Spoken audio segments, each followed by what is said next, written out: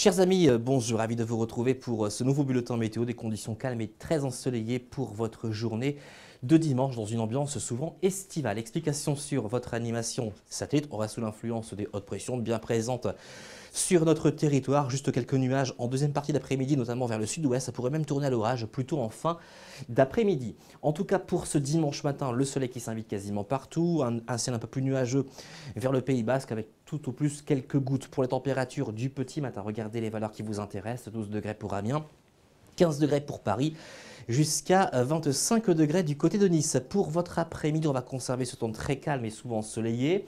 Quelques nuages histoire de décorer le ciel euh, sur la moitié nord du territoire. Et puis en cours d'après-midi et surtout en soirée, on aura une petite évolution orageuse sur le sud-ouest.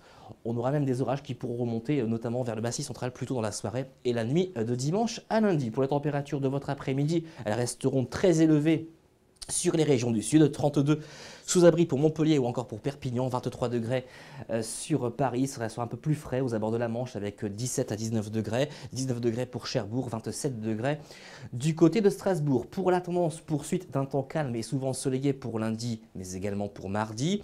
Et puis entre mercredi et samedi, on va conserver ce temps estival, très ensoleillé. On va surveiller un possible épisode de canicule à partir de la fin de semaine, des valeurs qui pourraient approcher les 36 à 38 degrés, notamment euh, sur les régions les plus au sud. En ce dimanche 12 juin, je vous souhaite une excellente journée.